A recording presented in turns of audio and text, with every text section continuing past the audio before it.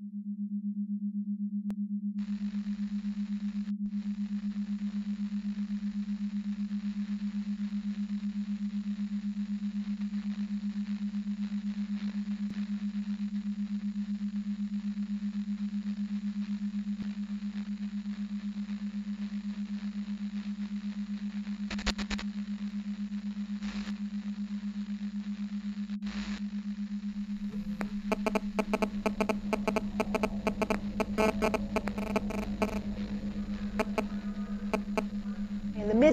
uh, fewer than 3% of all people in most of our countries were using cell phones.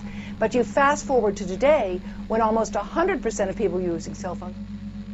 By the time they're 19 or 20 years old, they will have used the phone for 10 years, and we have no idea what type of risk that's carrying.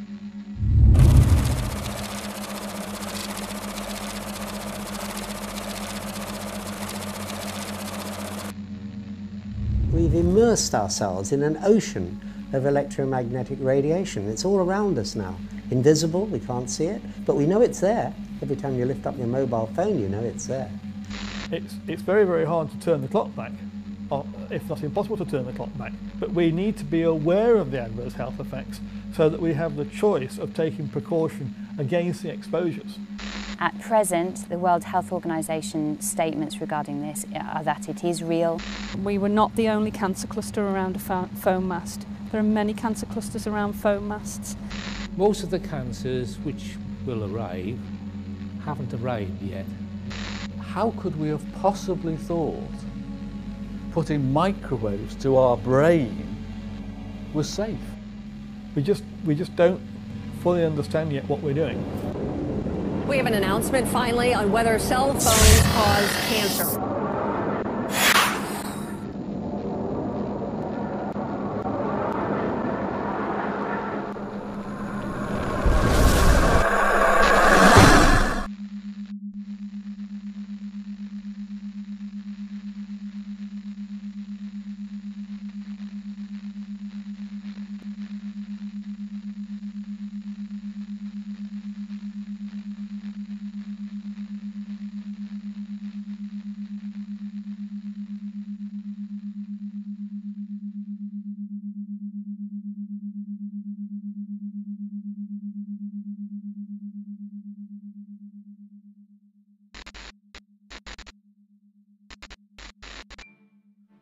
An unknown scientist is about to make a discovery that should have changed everything.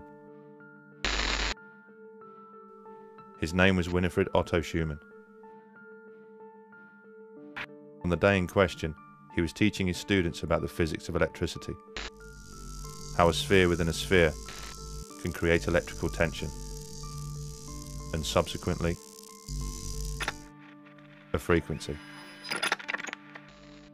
Schumann's class had struggled to understand the subject, so to make it easier, the professor instructed them to imagine the Earth as one sphere and the ionosphere as another.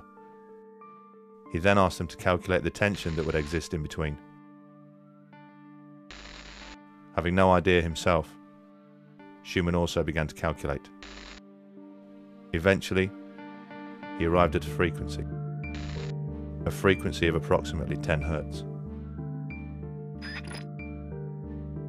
As incredible as it seemed to Schumann, our planet had a pulse, a measurable frequency that surrounded life on Earth. Although the professor was proud of his find, he didn't see it as a hugely significant one, especially as it was only published in a small science journal, confined to the back pages, under the heading of Schumann resonance. It would take several years and an incredible twist of fate before the professor would begin to realize the true importance of Schumann resonance. That twist of fate had begun 30 years earlier with another German scientist by the name of Hans Berger. Using an EEG machine he had built himself, Berger had made the first ever recording of electrical frequency transmitted by the human brain. It was initially suggested the wave be named after the man who'd discovered it, but Berger, being a modest man, elected for an alphabetical name, and called it the alpha wave. Shortly after Professor Schumann's discovery, one of Hans Berger's colleagues, a man named Dr. Ankermüller, happened to stumble upon a bedraggled copy of a small scientific journal. The exact same small scientific journal that Professor Schumann's discovery had been published in several years before. He read the piece several times, shaking his head in disbelief. He realized instantly the magnitude of what was in front of him. The frequency of the alpha waves, recorded by Hans Berger, were almost identical to Schumann resonance. The frequency of the Earth. Dr. Ankermüller immediately contacted Schumann to convince him to investigate further. Schumann agreed and worked alongside one of his students to refine his discovery. They studied in detail how tension is discharged by lightning in the Earth ionosphere cavity. Eventually, they came up with an exact frequency. The pulse of the Earth, Schumann resonance, was exactly 7.83 Hertz. The discovery was remarkable. Schumann resonance wasn't just similar to the alpha waves of the human brain, it was identical. The brain's frequency, which controlled our creativity, our performance, our stress, anxiety, and our immune system, had somehow tuned in to the frequency of the planet. The pulse of the Earth had become the pulse of life itself.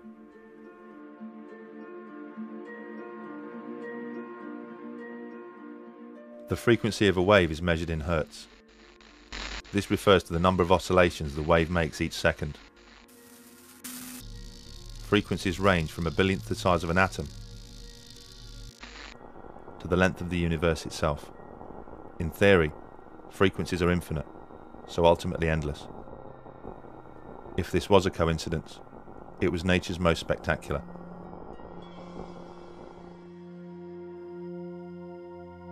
So what did all this mean? It wasn't long before somebody tried to find out. His name was Rutger Wever, an acclaimed scientist from the Max Planck Institute. In the early 1960s, the professor constructed an underground bunker in order to examine the circadian rhythms of man. The circadian rhythm is the day-night cycle that is engraved into all life. Over a 30-year period, the professor conducted experiments in which student volunteers would spend several weeks at a time living in the bunker, completely shielded from the natural resonances of the Earth. In his results, Wever noted some astonishing findings. He discovered that when Schumann resonance was filtered out of the bunker, the students' physical and mental health would suffer. Took students down there. He didn't, he didn't uh, trust to do it with, with ill or old people. He took young students down there uh, because he knew, uh, knew that, that there would be an effect. So obviously underground, you don't have Schumann resonance. You only have the transverse magnetic fields from, from in the earth.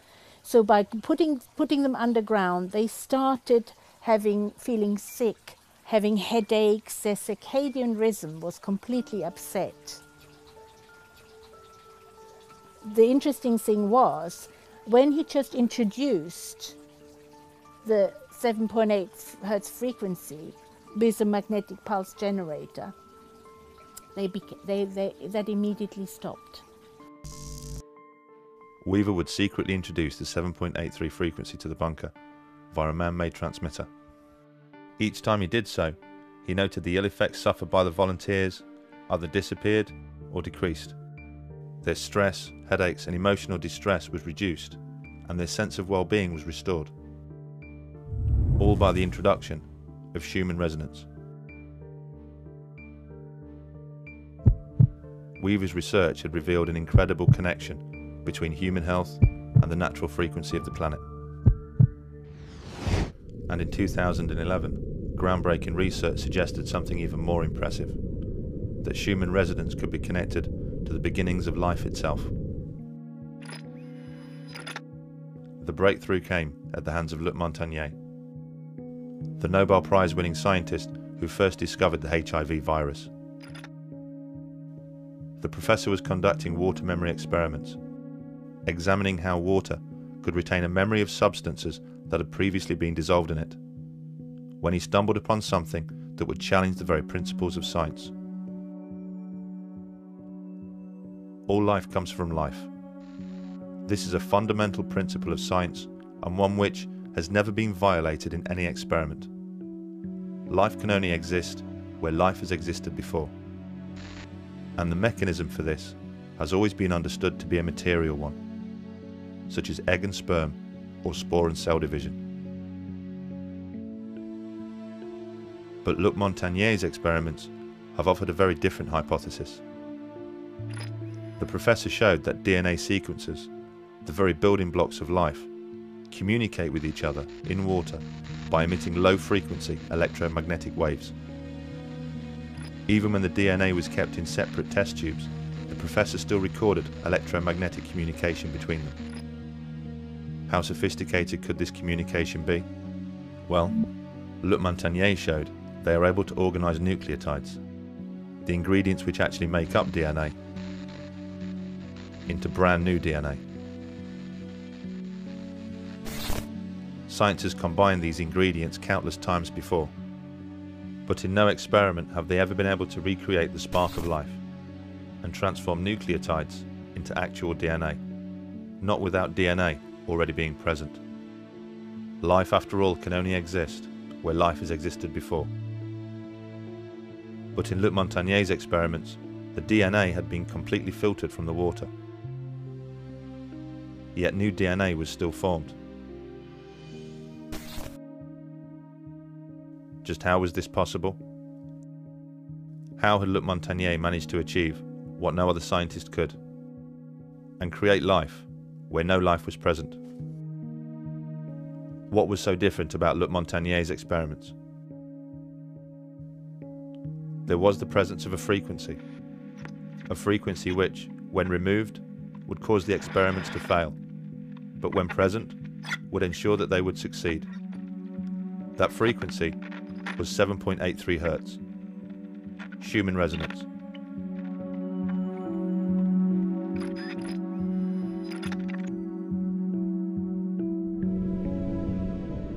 A delicate relationship had been struck between life and the frequency of the planet. An interaction of living organisms and electromagnetic frequencies.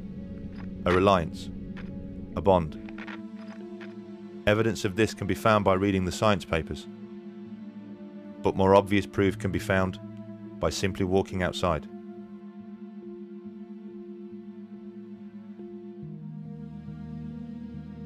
How did all this happen? Well, when you look at the history of the Earth, it seems pretty obvious. Schumann waves have been part of this planet since the very beginning. Life evolved surrounded by them, and inevitably tuned in. In fact, our sensitivity to frequency became deeply connected to our ability to sense another of the planet's phenomena.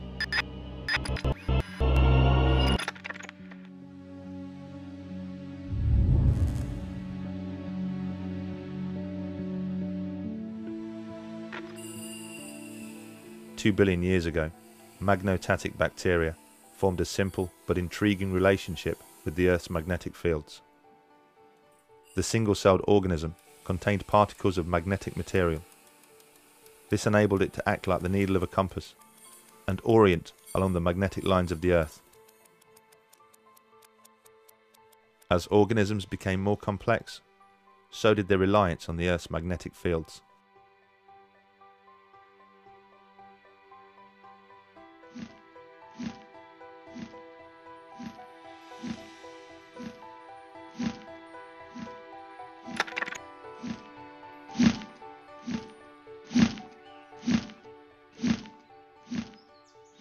We do know that bees are sensitive to magnetic fields. We know that within their bodies they contain particles of, of magnetite and laboratory studies have shown that they are indeed sensitive to magnetic fields and you can demonstrate in, a, in, in laboratory that if you artificially create a magnetic field you can control the way that they build their comb and it seems logical that bees are using magnetic fields in navigation.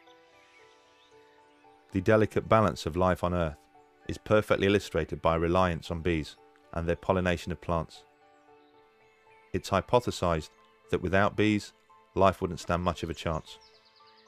Insect pollination is needed for really all the things that make eating interesting.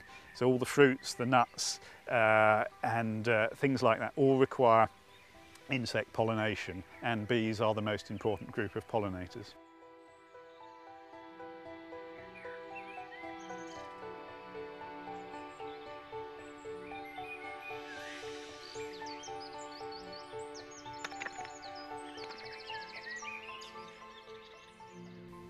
Bees weren't here, if the we'd, bees, we'd have a very boring diet. Yes, we, we would have a very thin existence. I think that's the point without bees. And of course, as well as the food that we need to eat, uh, they're pollinating wild plants as well. And in many cases, we don't know details about the pollination of, of wild plants, but we can be sure that without bees to pollinate them, many of our wild plants would disappear.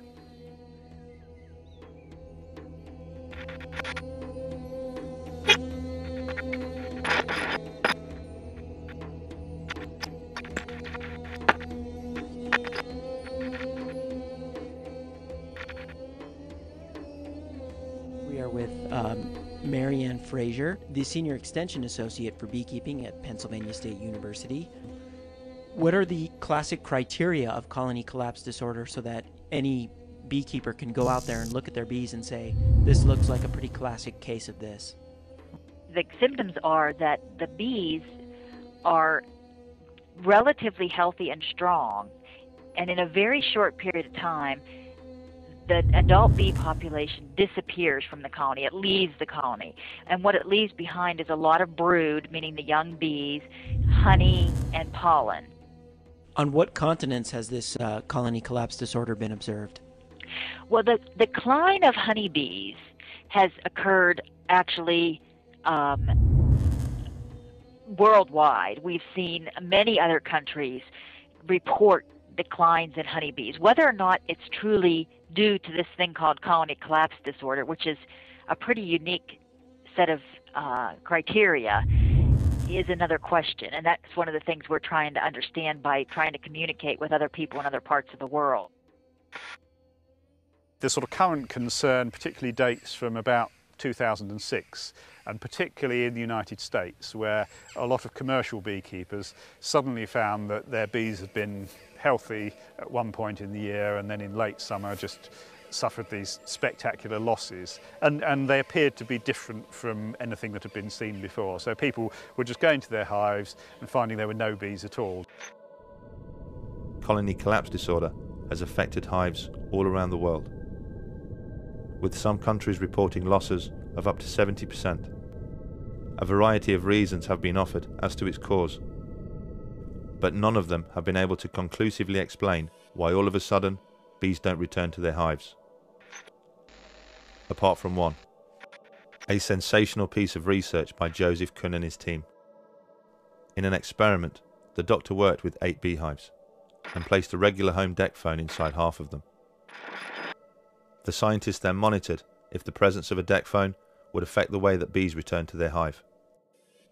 The results were astonishing. In the hives where no DECT phone was present, the bees returned at a normal rate.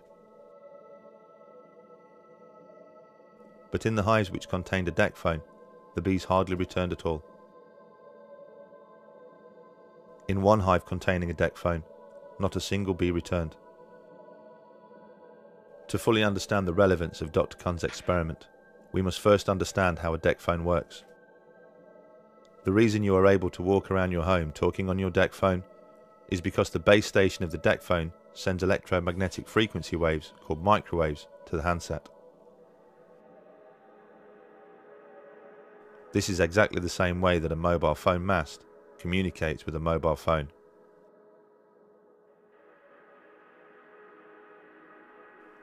A DECT phone is basically a miniature version of a mobile phone mast.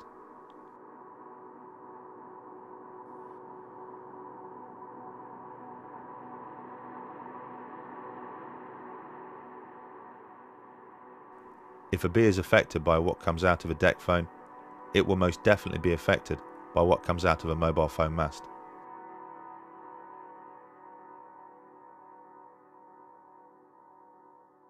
And with 4 billion mobile phone users around the world, all of a sudden, there are an awful lot of mobile phone masts.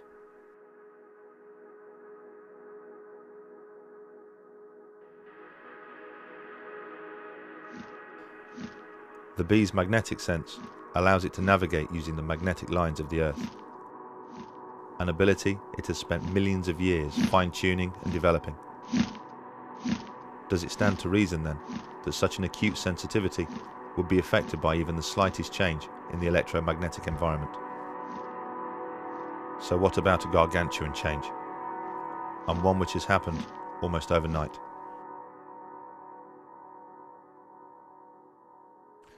Are there other species that have this sensitivity to magnetic fields? A sensitivity which ultimately makes them vulnerable to man-made frequencies. Unfortunately, the discovery of a new protein cell called a cryptochrome suggests all life has a magnetic sense.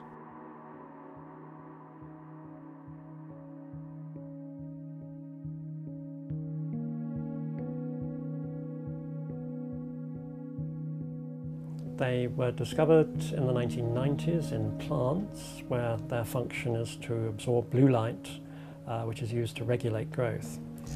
They were since been found in insects, animals, mammals, including humans, and in birds. Cryptochromes are a biological molecule called a protein. It's generated by some of your genes called crygenes and the cryptochrome molecule actually controls your circadian rhythms, including melatonin production. Some of the cryptochromes seem to have a function of absorbing light uh, as detectors for the circadian clock.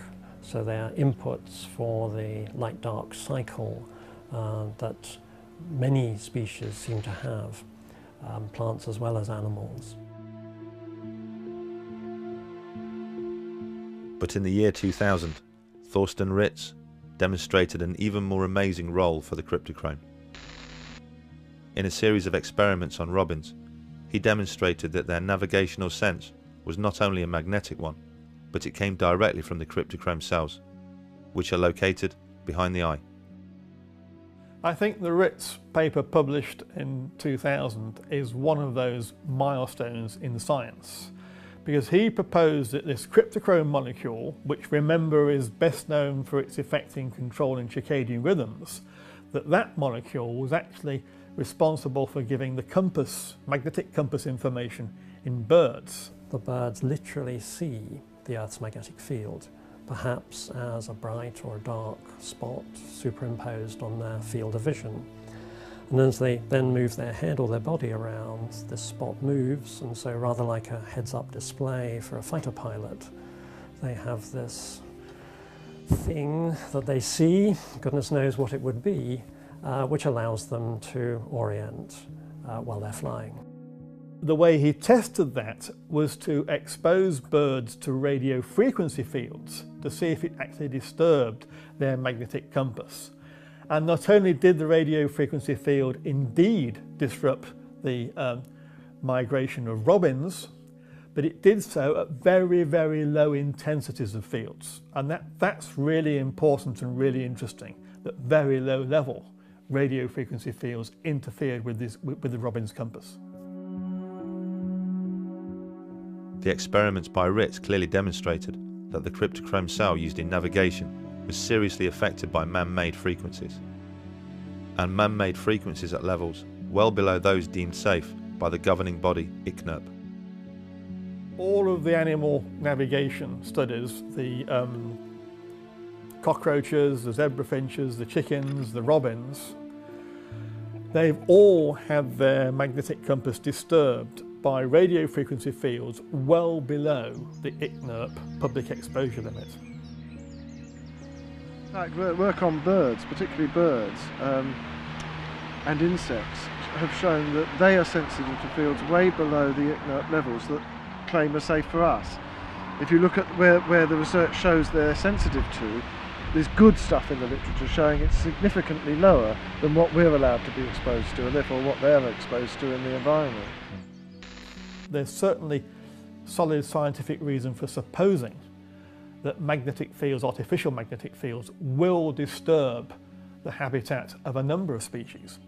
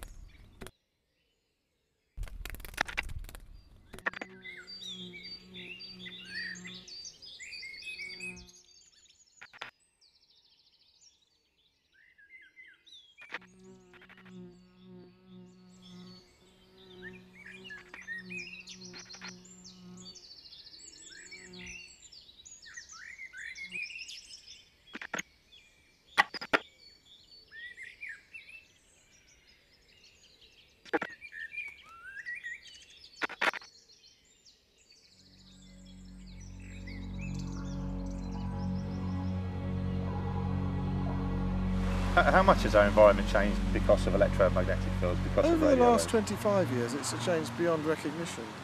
Just beyond recognition. It's millions and millions of times in terms of electromagnetic energy. The former National Radiological Protection Board, uh, in their, one of their documents, said that they thought that the radiation environment, if you like to call it that, had increased many millions of times from what it was 50 years ago. Many millions of times. It's an enormous change in, Yeah. in environment on Earth, and it completely swamps all these natural signals, including the Mm. Schumann waves that we have evolved with.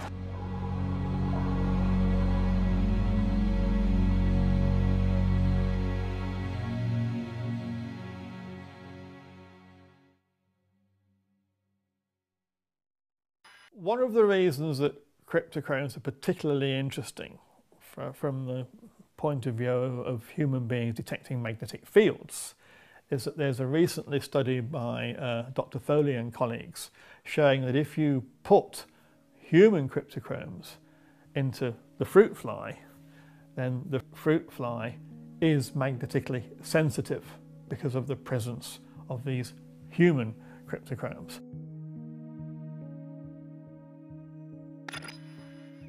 So this is actually showing that human cryptochromes are magnetically sensitive, can actually detect magnetic fields.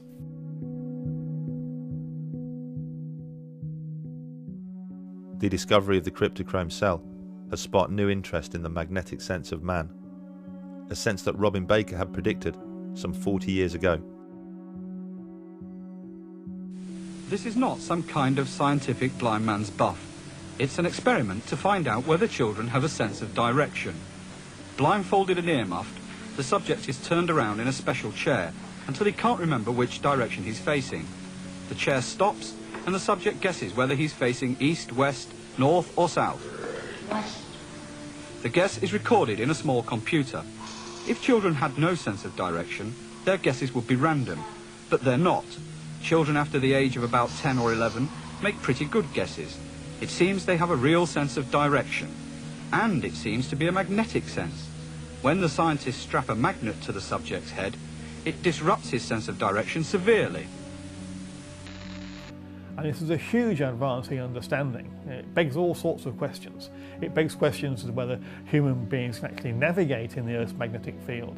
Even though they don't do it, don't do it today, did they do it thousands of years ago? And of course, it begs the question as to whether this is a process um, by which magnetic fields are actually detected in the human body, which leads to this disturbance of circadian rhythms, which would explain all these adverse health effects that we see so much of in the epidemiological studies of, of the health of magnetic fields.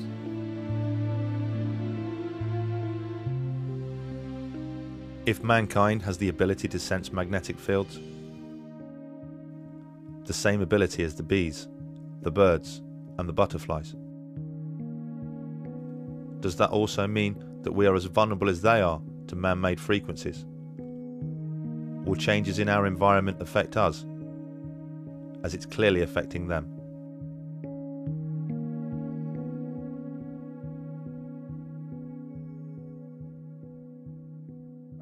Rolling. Okay, so what is, uh, what is how do you describe ele electrosensitivity?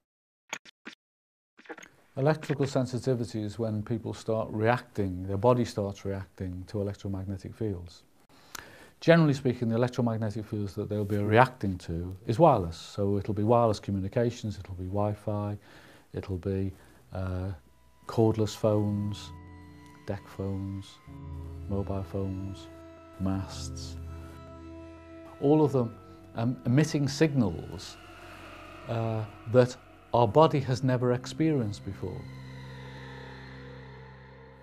And when people start to become affected, when I became affected, the way that it, is, it starts to affect you is generally speaking it's your head first and it will start giving you pains in your head but I hate to use the word headache because it's, it's pains in your head that is unlike any other uh, headache you, you've ever had before. Most people's complaints um, are things like cardiac arrhythmia, um, insomnia, headache, visual disturbance, vertigo, um, different kinds of um, paresthesias or neurasthesias where they are feeling unusual sensations within their body. Uh, but really it can also affect endocrine function, thyroid function. Um, again, the list is really endless. In my particular case, and this is not everybody's case, if I then don't get out of the environment, I start getting quite uh, severe pains in my gut, and that will then mean uh, it's too late, and I, I will then start bleeding internally. I think that the symptoms are so diverse and the associations that, um, that people make are, are very difficult to, to accept if you have no knowledge of this subject, which most physicians do not have. And that's no fault of their own. We're not trained to recognise this condition. It's, it's very inno innovative and our understanding of it is entirely embryonic at this stage. We're at the very first steps of unravelling and fully understanding this condition. Brian, like many sufferers of electrosensitivity, has been forced to make radical changes to his home. Area, these two rooms have been completely shielded in metal foil so that this room and the bedroom are a Faraday cage. And if you actually check the electromagnetic fields or indeed the microwaves. And this, this machine is simply converting microwaves to noise. You find that the mast that is about half a mile away over there, which causes me a problem, by shielding the room and putting metallized glass means that I can eliminate most of the electromagnetic fields. The aspects of an organism that allow it to detect and respond to electromagnetic fields. Um, you could say this word's going to use in a number of different contexts and if you bisect it and break it down electrically sensitive you could say that really that's a response to life itself in that for example if we if we're looking at an organism to determine the presence of life we're really looking for the presence of electricity so with the electrocardiogram, for example, the ECG and the electroencephalogram, the EEG, what we're looking at there is the presence of electricity from those target organs, the, the brain and the heart. And um, when we see the presence of that, that's a, that's a sign that there's life. So in a way, um, given that on a cellular level, electromagnetic fields are part of life itself, we could say that all life is electromagnetically sensitive. Desperate to convince people that electrosensitivity was genuine, Brian and a number of other sufferers signed up to a landmark experiment at Essex University. The experiment, run by Elaine Fox, would sadly become the definitive work on the subject.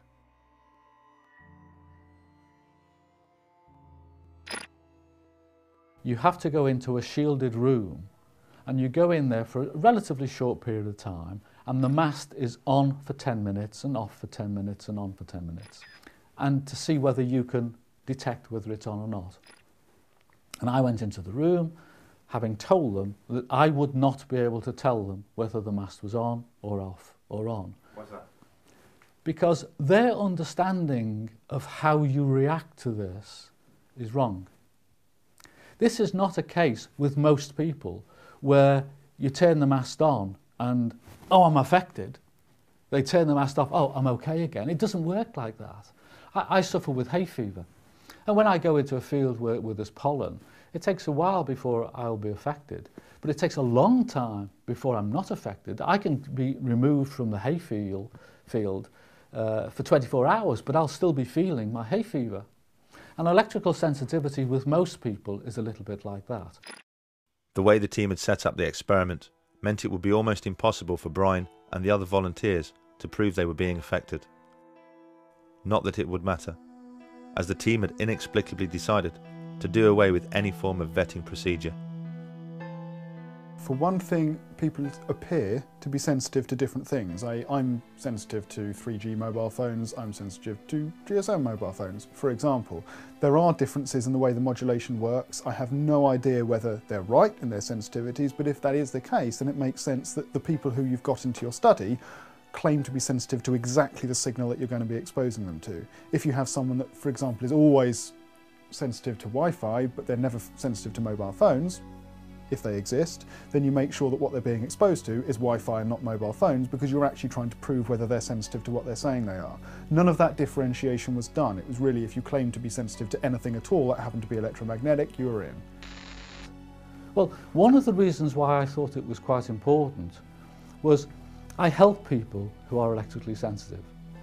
And a couple of months before, I'd actually been to uh, a lady's house uh, who thought she was electrically sensitive just to try and help her and to explain to her what electrical sensitivity was and what might be causing her problem. And to cut a long story short, it was obvious that this particular lady had a problem, but she was not electrically sensitive. She was definitely not electrically sensitive. But in the going of the conversation, she'd signed up for the Essex trials to try and find out whether she was electrically sensitive. Well, my heart missed a beat. Well, here's somebody that's not electrically sensitive, and they've signed up to go to Essex. And Essex are telling me they don't have a vetting procedure. What they actually found, and this is based on the text in their paper itself, I'm not sort of paraphrasing, is they needed, according to them, with the level of response they were expecting to see from sensitive people, they would need about 132 people, participants in their study, to show a statistically significant effect. That's how much population, if you like, they would need. That's how much data they would need in their study findings before they could say this group is clearly more sensitive than that group. What they got was 44. So from the very outset, they only had the third, a third of the data they expected that they would need to find anything anyway. What they ended up finding was a near statistically significant risk anyway, i.e. the people who claimed to be sensitive showed that they were sensitive with a significance of about 90%. So the borderline at which a scientific paper says, yes, this is statistically significant, is 95%. If you don't get that level of certainty, it's not a statistical finding at all. It could be random chance and noise. They got something which was 90% certainty of an increase in risk, and of course it, it fails the magic bar at which you can call it a statistically significant result, and it was written off as a, this demonstrates that people aren't sensitive, when actually it did no such thing.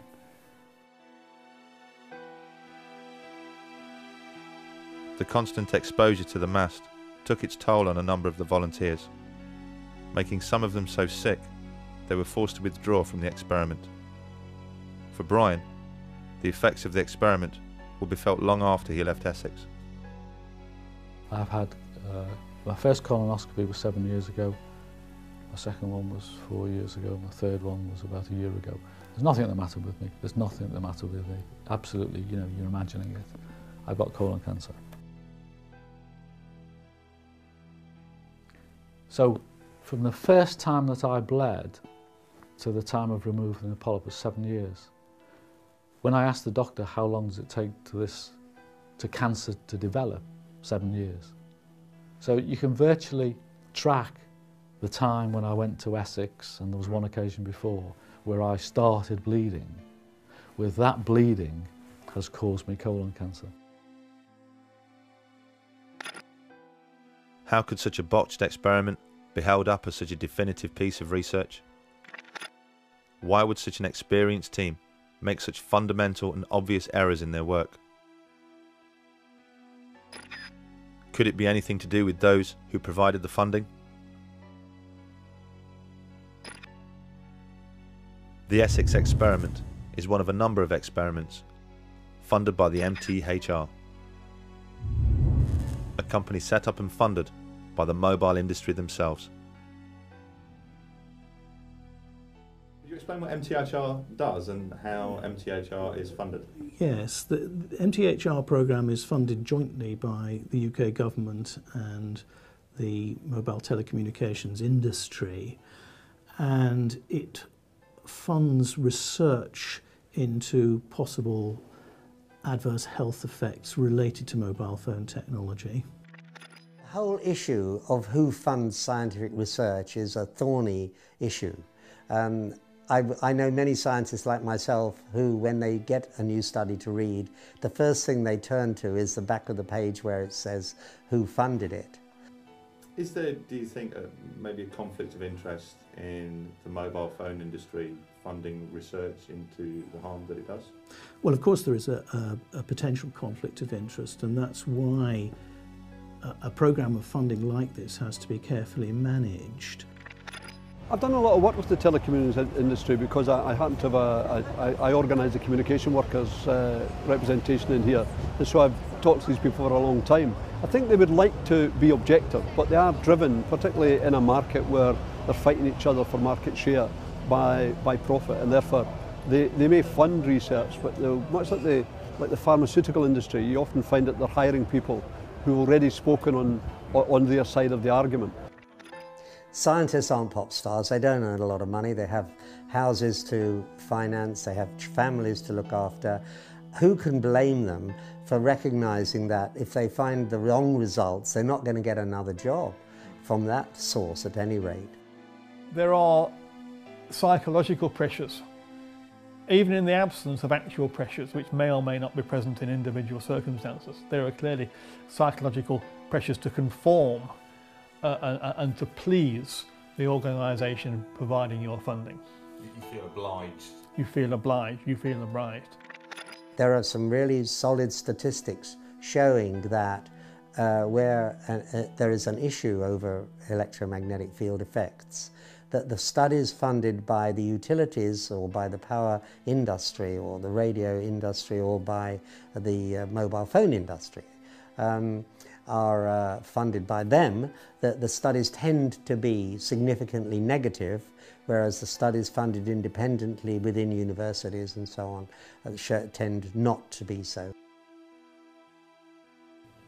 It's a challenging area in which to research. It's not easy to do studies of that sort, and um, because of the constraints of doing research in human subjects, you're not going to have perfect research studies. There are always going to be limitations. Is this a real condition? Yes, absolutely it is. At present, the World Health Organization statements regarding this are that it is real and symptoms can be severe and, and disabling. Figures for electromagnetic hypersensitivity are around 2 to 3%. Those are people who've had their life extremely affected by this condition. But, as I've previously mentioned, on a cellular level, 100% of people are, are reacting. That means that the, the healthcare consequences of, of not taking this seriously and not recognising it are potentially huge. And the numbers of people that have mild or moderate electrical sensitivity are probably far higher than we estimate.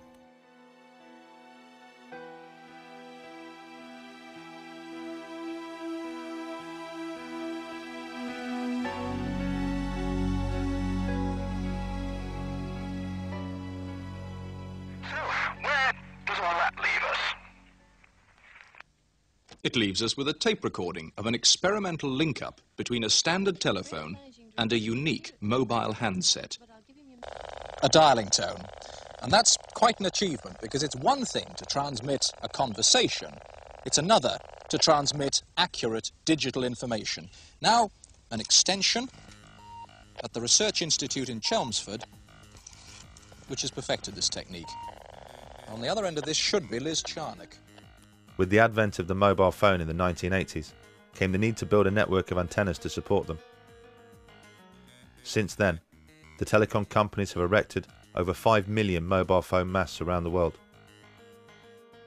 But incredibly, prior to filling the air with microwave frequencies, they didn't conduct a single piece of research to ensure there wouldn't be any long-term health effects from such exposure. The grid was built without first making sure it was safe. Thank you for your help.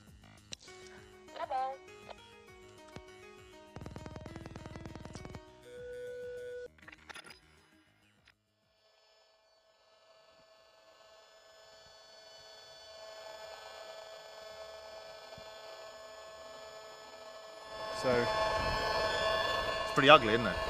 yeah, and it's constant as well. One thing you'll notice is it doesn't stop. It's Hmm. 24/7. This is what's coming out of the mast. If you can see the mast, you're being exposed to it. Right. Frankly, even if you can't, you're being exposed to it if you're this distance away because it'll pass through, you know, concrete walls and things. It'll dampen it a bit, but not very much. If you're within two, three hundred meters of the mast up there, this is what you're going to be exposed to 24/7. When you can hear it, it changes everything. It does. Imagine if you could see it. I mean, it- It'd be the equivalent of sort of, you know, seeing a daily smog. Yeah. around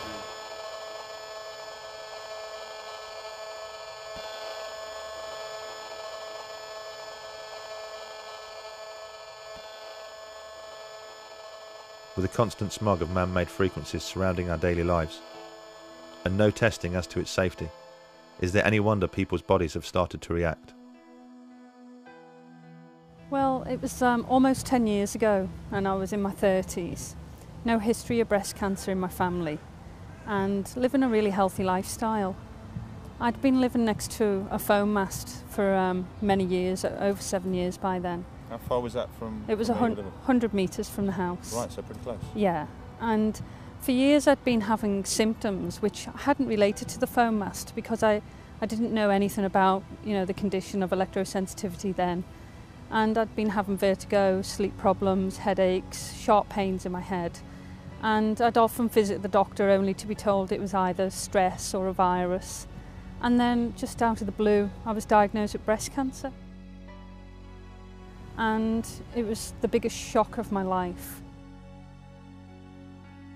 And I, and I, at first I thought, well, it's bad luck, you know, it's just unlucky, it's me. And um, started to go through my treatment. And it was then I started bumping into neighbours in the hospital. And I only lived in a small village. Right. And started bumping into other young ladies as well, who were neighbours. Young? Who, how old Oh, well, I, I was the youngest in my 30s, but the others were in their 40s or early 50s. Right, that's very young. And that was five of us all, all diagnosed at once, um, within six months of each other, with breast cancer. There were only 18 houses in the village surrounding the phone mast, so Eileen decided to conduct a survey to see if anybody else had suddenly started suffering ill health. What came back really frightened us. We, lots of people were reporting the same symptoms that I've been suffering with for years. the hel- vertigo. Yeah, the headaches, the Headaches. vertigo. But there was other young women in the village who were having fertility problems and precancer cervical cells. Other um, young ladies who'd had breast breast cancer benign well, benign lumps, and there were other conditions of cancer as well in the area. One of our neighbours, who was only 51, had developed motor neuron disease, and he he unfortunately died. And so we, we unearthed a, a horrendous can of worms. We'd done a count of 77 people in the houses. And out of Um, 77 people, how many people There, were suffering biological effects? the, uh, the estimate was um, around 70% people 70% of people. who'd had effects over the years with biological effects, sleep problems, skin rashes, benign lumps, lumps or cancer. Um, yeah, it was a, a, a big, it had a big impact on people in the village. I think this this is a global, massive problem. We found since then that we were not the only cancer cluster around a phone mast. There are many cancer clusters around phone masts. And we'd worked with a local scientist where we looked at other phone masts that have been in areas for a long time and conducted other surveys and found other cancer clusters as well.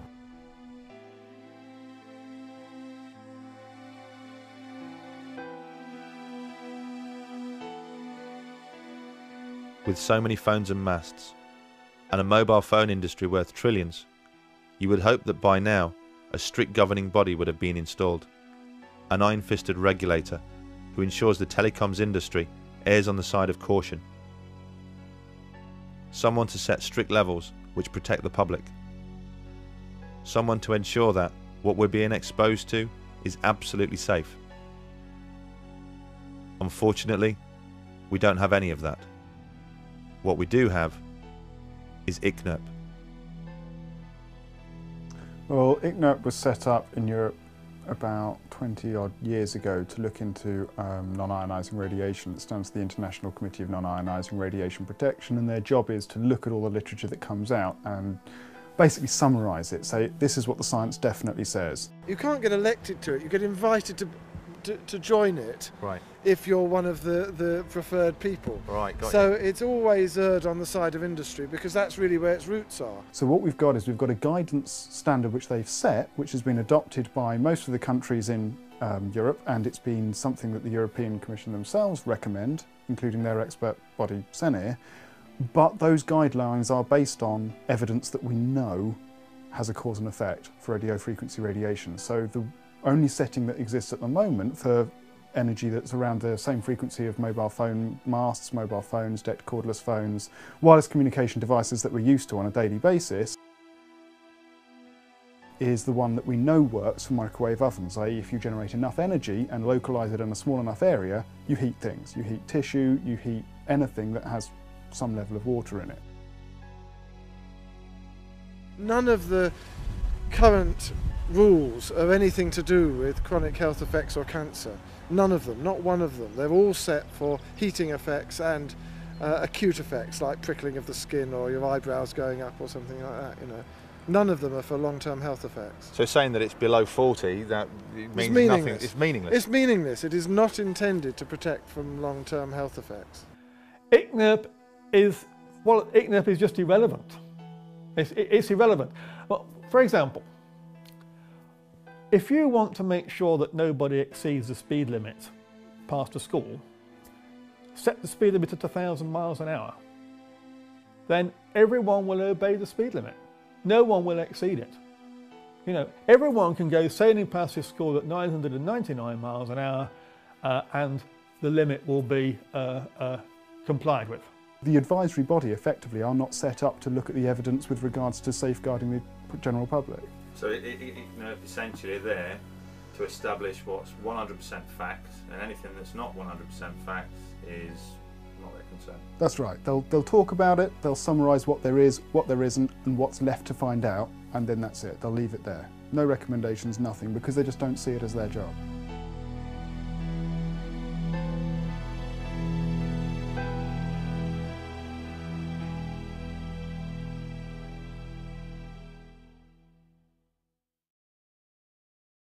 Try and make a call? Let me try and make a if you try and make a phone call, it'll be almost constant because it starts Right. a proper sort of two-way high bandwidth transmission. Okay, let's do that. Oh wow. So as soon as it picks up, this is it trying to, and this is once it's on call mode. This is now what the phone's doing. And that's waves going Yeah. from my phone to the base station and then being transmitted from Yeah. there. And that's it's picked up. That's horrible. And that's basically what your phone's transmitting into your head all the time that you've, you've you know, got it operational and you're using it for phone.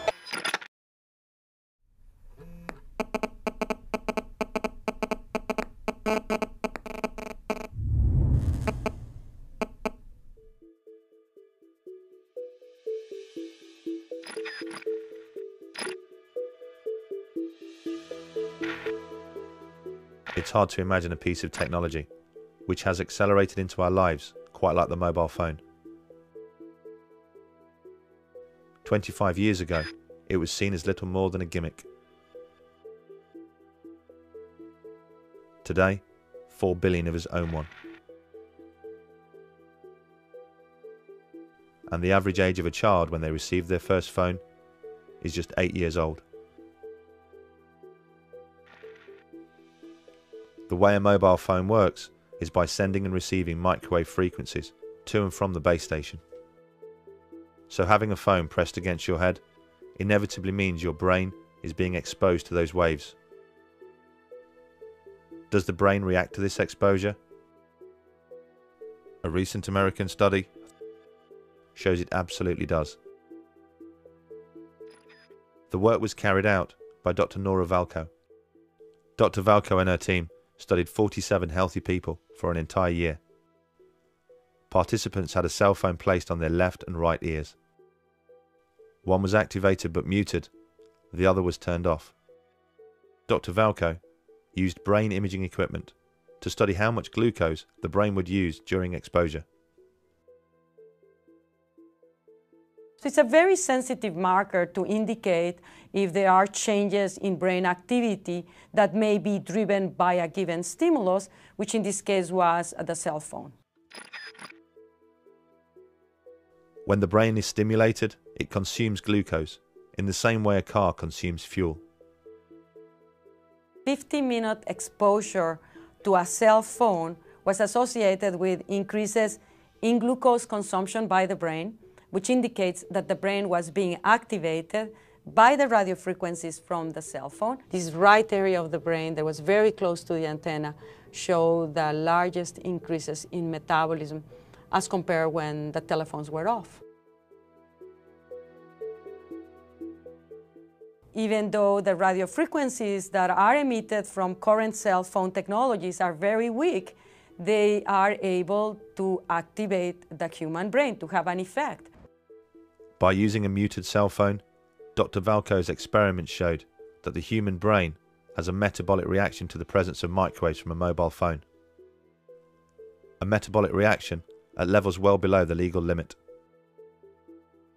Something many people claimed was impossible. And the reaction recorded by the doctor is secondary to an even greater concern the way that those microwaves are actually absorbed by the brain. This has become known as SAR.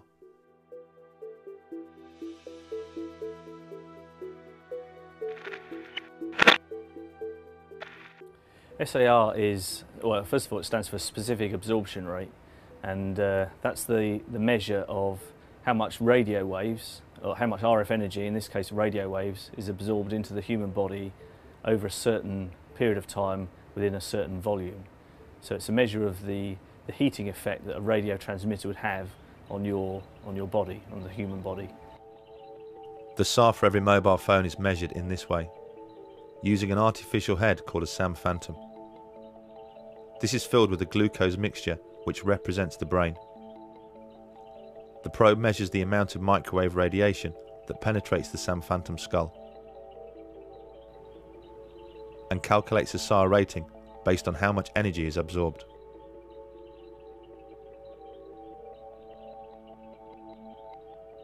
For the European Union, the limit is 2 watts per kilogram um, over a 10 gram average of, of tissue.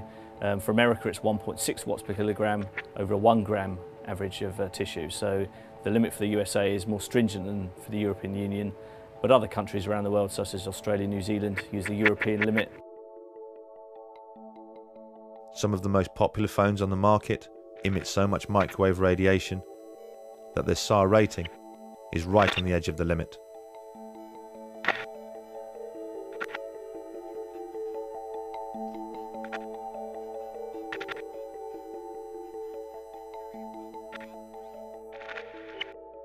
Every millimetre of skull helps protect the brain against the phone's microwave radiation and therefore lowers the phone's SAR rating. Children get their first phone at the average age of 8 years old. An 8 year old skull is considerably thinner than that of an adult. So you would hope that phones are tested against a skull which represents the thickness of that of a child. The SAM head is an average shaped and sized human skull. The average of 10,000 people have, has been taken in terms of their head measurements and this SAM Phantom head has been created, which is an average human, human skull. Obviously the head of an average human being is considerably larger than that of an eight-year-old child. But when we investigate the company that makes the Sam Phantom head, we discover that the news is even worse. The Sam Phantom isn't just the average of 10,000 people. It's the average of 10,000 US Army personnel. And US Army personnel most certainly have a larger, bigger, thicker head than the average 8 year old. It's pretty reasonable to assume that if most mobile phones were tested against the skull of an 8 year old, they would fail.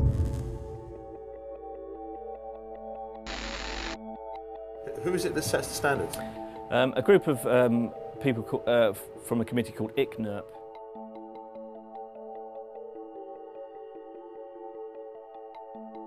The people who do the work on mobile phones are by and large engineers.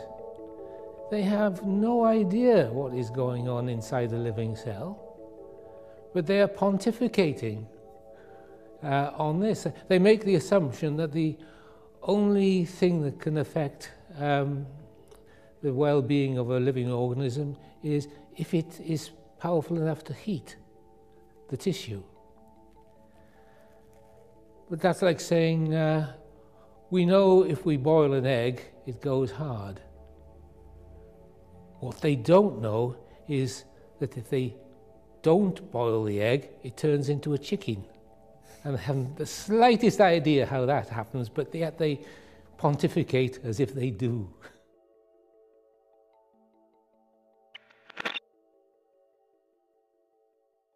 In 2011, the World Health Organization changed the danger rating of mobile phones, reclassing it as possibly carcinogenic to humans. Based on an increased risk of contracting a glioma, the type of brain tumour associated with using a mobile phone. What was the catalyst for this abrupt change in status? There have been countless studies conducted into the possible health effects of mobile phones. Some showing an effect, some showing no effect. But the most conclusive came from Lennart Hardell. He has overseen the largest and most comprehensive piece of research ever conducted, combining his own work with that of others from around the world. From the early 1990s, they have investigated the phone habits of more than 2,000 people from around the world. People with tumours such as astrocytoma and acoustic neuroma. The brain tumours associated most with mobile phone use due to their proximity to the ear. Their findings are shocking. They concluded that mobile phone use does increase the risk of a brain tumour. And they also discovered why earlier research showed no effect.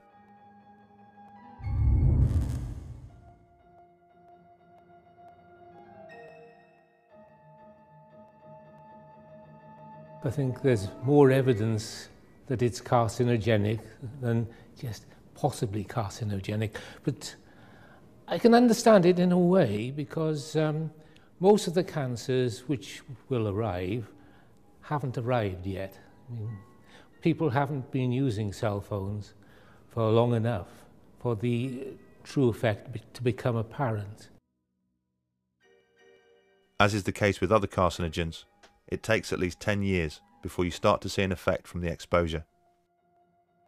Because the mobile phone explosion didn't really take hold until the late 1990s, it's not surprising we are just starting to see the effects right now. So, what are the telecoms industry doing to protect its users from contracting a brain tumour? A flick to the far reaches of their safety manuals suggests that they are more concerned about protecting themselves.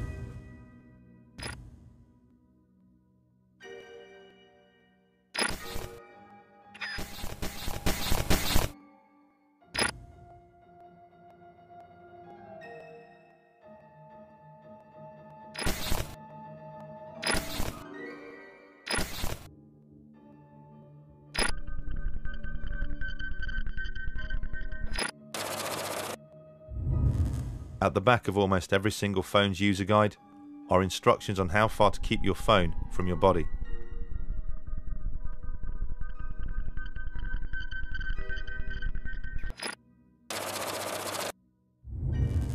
Instructions which, in the most part, are wholly unworkable.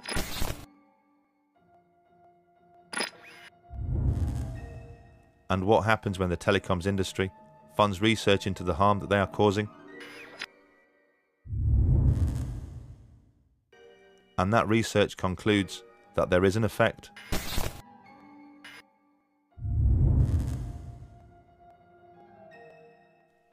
That the use of a mobile phone does play a role in the development of cancer.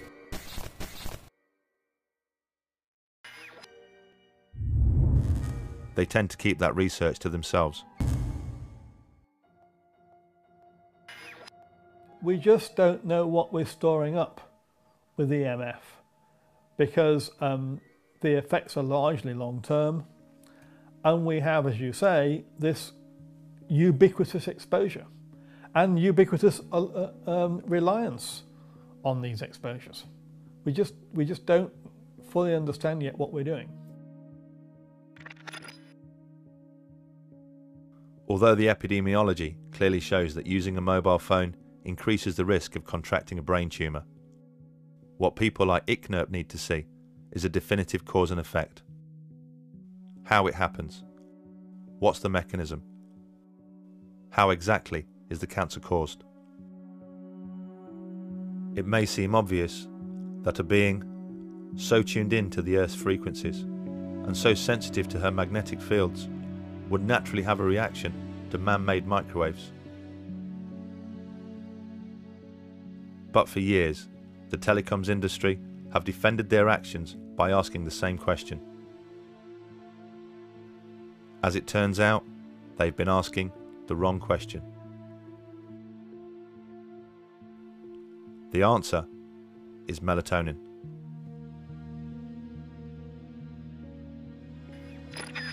You know, melatonin is a hormone, and believe it or not, it's made in the brain.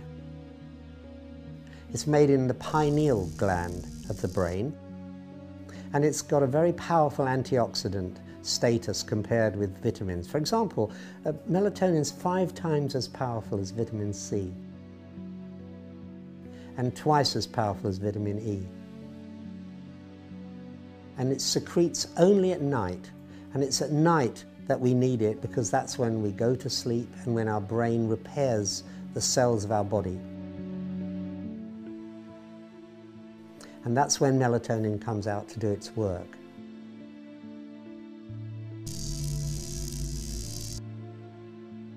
Each day, our body loses about half a billion cells. And at night, that's when our body replaces those cells. Through a process called cell mitosis, the dividing of cells. And what it's doing is it's mopping up what are called free radicals. These free radicals are really the spare electrons left over from the process of making the energy which we need to repair ourselves in the first place. Each night, as our body repairs itself, millions of free radical cells are created as a byproduct of cell mitosis. These free radical cells attack healthy cells.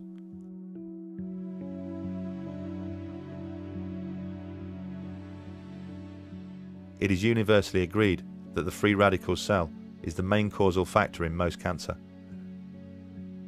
Our body's main defense against these free radicals is its most powerful antioxidant, melatonin. It passes into the bloodstream And its job is to act as a natural antioxidant, a natural anti-cancer agent. Melatonin is a very, very powerful uh, anti-cancer agent. What it does is it, it acts as a, a, a, what's called an oncostatic agent, that, that is it protects you against cancer. Um, it controls the sleep-wake cycle so that you get a good night's sleep when you've got proper melatonin. It's an anti-aging uh, molecule. In other words, it, by mopping up those free radicals, it leaves your skin and complexion uh, looking younger.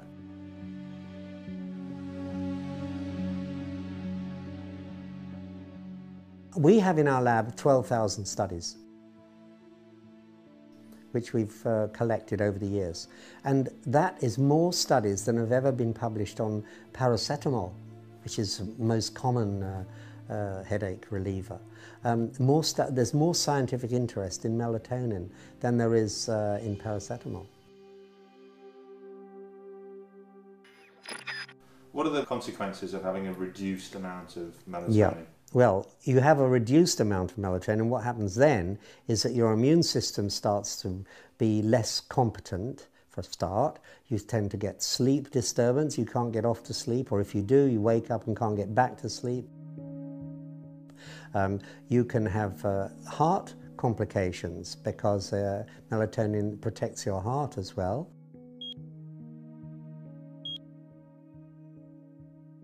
And um, you're much more prone to disease because your immune system is uh, not functioning at its best. So these are some of the things that happen when you have a lowered melatonin level. And for example, the average um, woman with breast cancer has only got one-tenth of the melatonin of a normal woman of her age. And for people with prostate cancer, they've got less than half the melatonin that uh, they should have. Autistic children have less than half the melatonin levels that they should enjoy. Reduced melatonin in night shift workers, because they're working at night and exposed to light, they don't produce nocturnal melatonin, um, is known to produce a 50% increase in breast cancer risk. And the International Agency for Research on Cancer, IARC, has actually classed uh, night shift work as a class 2A probable carcinogen because of this melatonin uh, reduction. There are lots of studies now showing that people on, on night shifts or people who are blind have different cancer rates than uh, the average population. And, and most of those studies support the view that the absence or the uh, lowered melatonin has an adverse effect on health because the body only repairs itself at night. Melatonin is only produced when the pineal gland senses that no light is present. What happens is that the pineal gland is light sensitive. It's sitting right where your brain uh, receives signals from your eyes, that crossover point in the middle. It's called the suprachiasmatic nuclei, and the, the, the connections from there goes directly to the pineal gland to tell it whether it's, there's any light around or not. If there's light around, then there's also interference with the signals the brain wants to sell, send to, to our cells in order to repair them. So it says there's no point in the brain sending these signals out to our cells to tell them to repair because there's so much interference that they won't hear it. So it waits, the brain waits until it's dark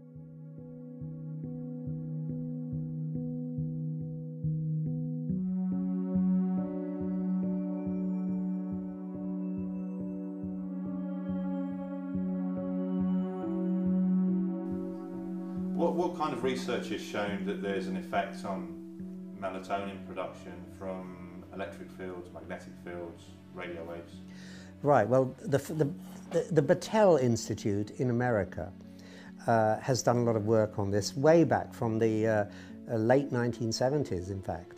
Um, and their uh, scientists there, Barry Wilson and Dick Stevens and people like that, started thinking that because we know that if you turn the light on, then the brain stops making melatonin, they thought, well, maybe our brains can't distinguish between electric fields and, uh, that we make ourselves artificially or, and the natural light that we all know it happens during the daytime because we just don't make melatonin in the daytime. Um, for very good biological reasons. So they thought, well, maybe these electric fields are suppressing the synthesis of melatonin, and that that in turn is leading to cancer, breast cancer particularly, in women because they don't have the immunological protection that they would otherwise have. So the brain interprets radio waves as being light waves? Yeah, we don't know the difference.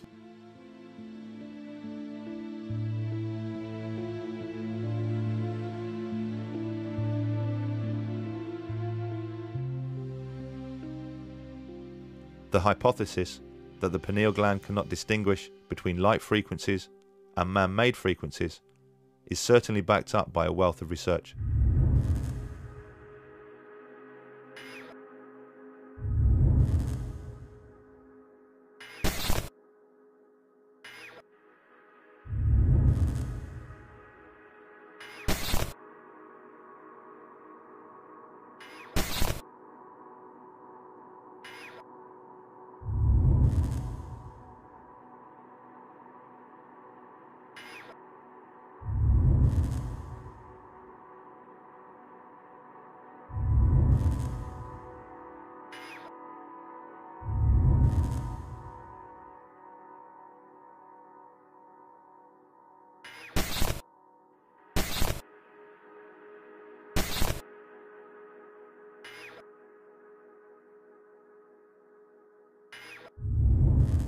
Do you think it's pretty conclusive that electric fields, magnetic fields, radio waves affect the production of melatonin?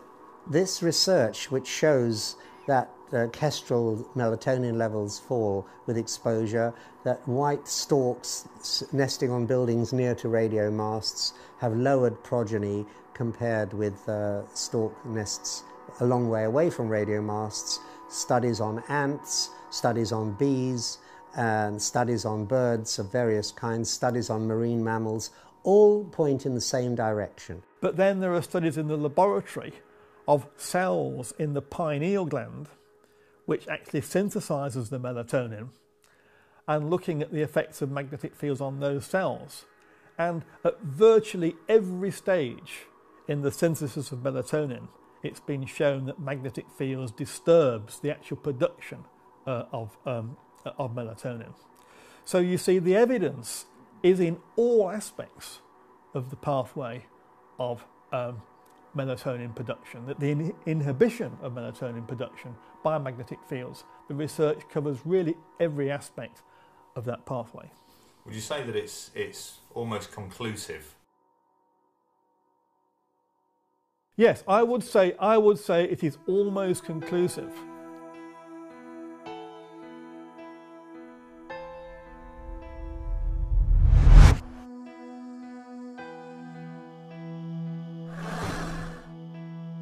The genius of our body means it is able to counter the production of free radicals with the production of melatonin. We have created in ourselves a precise balance, a perfect system of defense. It has taken our body millions of years to perfect this technique. A technique created based on the surroundings we have evolved in. But over the last few decades, our surroundings have changed. And changed exponentially. To the naked eye, the world appears to be the same. But at a cellular level, it is the biggest change in environment life has ever encountered.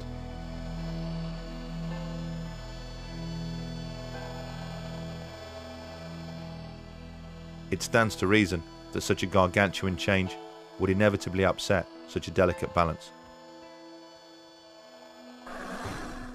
And the consequences of our bodies not producing the right amount of melatonin could be disastrous.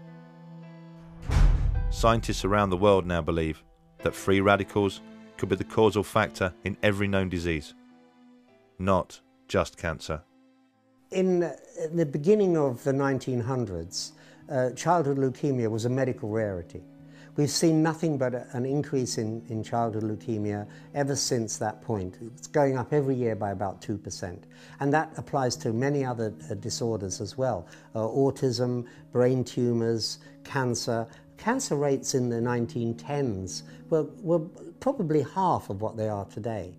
Um, and many other diseases are being uh, connected by studies, by scientific studies, with exposure to, bio, to electromagnetic fields and radiations. Uh, not just power lines, but also to radio fields and microwave fields. Because we've, we've, we've, start, we've in the last 50 years, really, we've, we've immersed ourselves in an ocean of electromagnetic radiation. It's all around us now. Invisible, we can't see it, but we know it's there. Every time you lift up your mobile phone, you know it's there. It's, it's very, very hard to turn the clock back, or if not impossible to turn the clock back. But we need to be aware of the adverse health effects so that we have the choice of taking precaution against the exposures, if that's what we wish to do, that's what we need to do. What worries me are things that are actually happening now. Right. That we haven't paid enough attention to, perhaps. And one of the things that's happening is autism, or give it its proper name, autistic spectrum disorders. Do you think we're getting to a point in science where we almost don't have a control group to be able to test things like this because almost everybody has a mobile phone, almost everybody has Wi-Fi, almost everybody is exposed to electromagnetic fields. Yes, we are reaching a situation where so many people are exposed to electromagnetic fields from mobile phones and Wi-Fi that we no longer have a control population to look at, uh, at the difference between people, the health of people who are exposed versus the health of people who are not exposed. If I can take an analogy, we did find out that smoking caused lung cancer. That was because some people did not smoke and they were a control group. If everyone had smoked, we may never have found that smoking caused lung cancer. And everyone would have been dying of lung cancer and it would have been regarded as a sort of natural disease without ever having a link with smoking. What's happening with mobile phone exposure is we are losing this population of people who are not exposed. Even the few people who don't own a mobile phone are surrounded by the radiation from the mobile phone when they go shopping, when they go on a train, wherever they go. It's not just the, the, the canary down the mine like myself. Eventually, if you, if you simply increase the electromagnetic fields in the, in the atmosphere, which we're doing, and we're now got a million times, a million times more electromagnetic fields, microwaves in the environment than we had 30 years ago, eventually it'll start to affect you. It's very, very hard to say where we might be in 15 years' time, but I would very much hope within a few years' time we do recognise just how much these ill health effects are actually costing society. And then we might wake up and look at the causes and realise we have to do something about the causes.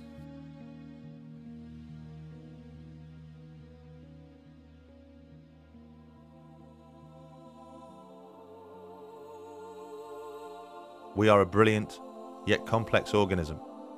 The way that our body functions isn't by chance, nor is it something which has happened overnight. Like every other creature on this planet, we have adapted into the environment we exist in.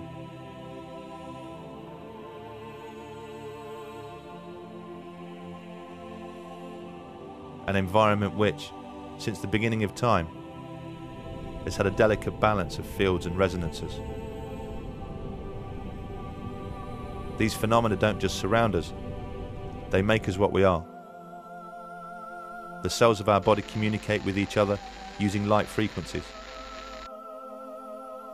Our DNA uses electromagnetic frequencies to reproduce itself. At the core of everything are protons and electrons, positive and negative, making all life magnetic. We are, as all life is, equipped with cryptochrome cells which allows us to sense those fields in ways we barely understand.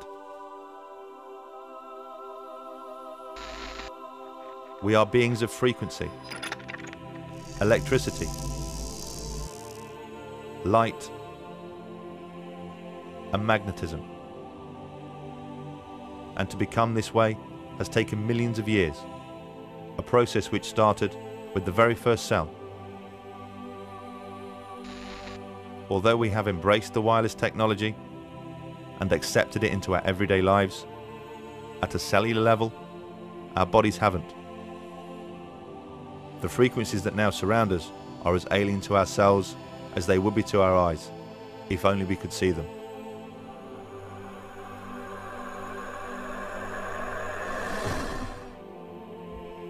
Our children are being born into a world that their bodies simply cannot understand. Where will all this lead?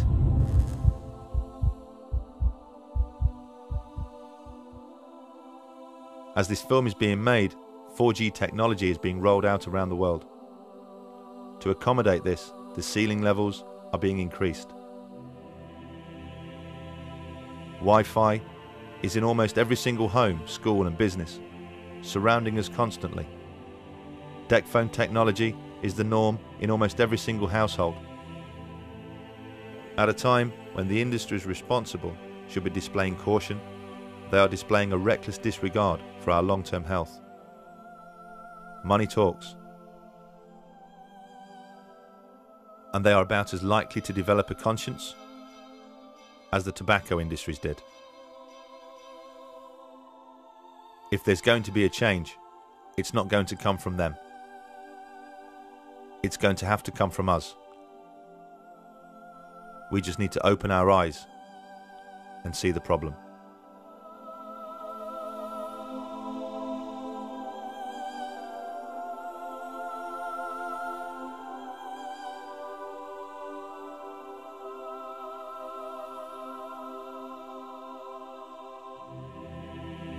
Would the MTHR, do you think, uh, fund research into uh, radio waves affecting melatonin, given that this is the mechanism that people seem to point to, that um, mobile phones affect the production of melatonin. Melatonin is a, an antioxidant, a free radical vacuum cleaner, if you like.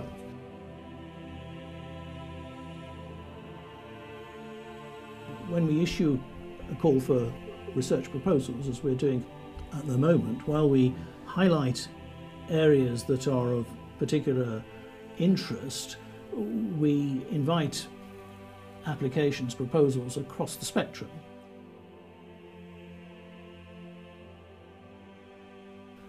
But it, you know, it would have, would have to be prioritised alongside the other applications that we get. We only have a limited pot of money, but, but we don't rule out funding research on melatonin. It's not one of the areas that we've, we've identified as a priority at the moment.